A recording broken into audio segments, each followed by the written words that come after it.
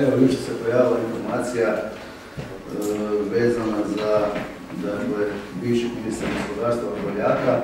Kao što vam je poznato, dakle, prema tom e, feudalnoj podjeli u bivšoj vladi Zorana Milanovića, gospodin bio ministar gospodarstva, a naravno da je onda imao ingerenciju postavljanja e, svojih kadrova, dakle HNS-ovih kadrova ovaj, u poduzeća koja su javna poduzeća koja su pod ingerencijom dakle, Ministarstva gospodarstva, pa tako i u HEP. E, I onda naravno e, e, ovaj, vlast ispod žita, tvrtka njegove e, supruge Ato Engineering, e, koja tvrtka faktički je počela poslovati u 2011.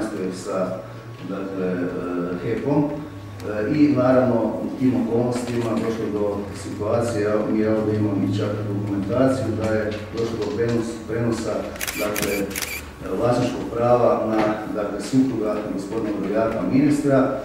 E, tvrtka na- nastavlja intenzivno poslovati sa e, dakle, HEP-om, što znači da u 2011. taj profit e, dakle, koji je bio milijun kuna se povećavao tijekom daljnjih godina na desetke milijuna kuna, da bi e, dakle, u zadnjoj godini mandata Milanovićeve vlade, dakle, obuhvat poslova bio preko 150 milijuna kuna. I to je zapravo e, jedan pravi predmet s kojim, bi se- trebalo baviti povjerenstvo za sukob interesa, odnosno e, e, eventualno i dakle,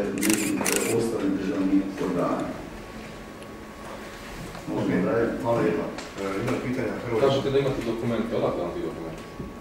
Pogledajte, ovaj, ti dokumenti e, imamo u posjedu, prema tome ne bi sada... Kako ste ih dobili? Pa o tome ne bi govorio. Zašto su javni? To su javni dokumenti. To su javno dosti dokumenti, možete ih da mi dođe. Hoćete dakle povjerenstvo izložiti taj slučaj i tražiti da, da se očituje tamo? Evo, gledajte, ja javno istupam, prema tome e, povjerenstvo može reagirati i faktički odmah nakon izjavu. Možete vi predati te dokumente što ćete s njima i... Ako će, to- dakle, rekao sam da su to javno dostupni dokumenti, mi možemo čak njima reći da mogu tražiti te dokumente i povjerenstvo može raditi svoj posao. Što smatrate da je to sukob interesa, kriminal, nešto? Pa gledajte, e, idemo krenuti sa sukobom interesa, a onda neka e, državni organi, dakle, podrže, ako postoje indicije da, da je počinjeno određeno kazneno djelo, neka, neka to procesira. Znači da preslagivanje vlade s HNS-om. Pa gledajte, e, uopće e, ne bih o tome pričao. Dakle, ja samo mogu reći da je vlada stabilna, dakle, vlada je stabilna u provođenju e, dakle, ovog reformskog kursa u kojem je krenula i mislim da, je, da će vlada učiniti sve da taj svoj program na kraju. Hoće li HDZ ostati u vladi na način da zbog ovog ultimatuma gospodina Petrova gospodin Karamarko ode iz vlade? Gledajte, e, ja mislim da je to opće pitanje e, na koje bi ja sada dao odgovor. Dakle, e, ja, sam, ja i dalje tvrdim dakle, e, da faktički ovaj, e, taj nekakav ultimatum koji postoji zapravo običan, koji, za koje mediji tvrde da postoji običan stil i izmišljotina. Na kraju krajeva zašto vam to gospodin Petrov nije potvrdio? Kažete da je vlada stabilna, ali imamo situaciju da iz Mosta i ovo gospođa Ružica Vukovac je rekla da je velika većina u Mostu protiv davanja povjerenja prvom potpredsjedniku vlade.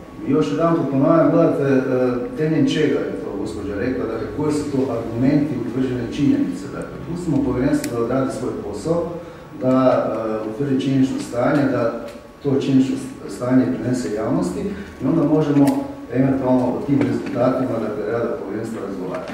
Dakle, ovo sve što se e, e, ovaj, govori, po meni je e, neumjesno jer zapravo povjerenstvo nije napravilo svoj posao.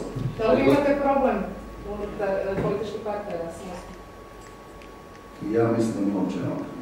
Dakle, problem e, ne postoji, vlada drži svoj kurs na, na poziciji provođenja reformi i tako mora dalje nastaviti.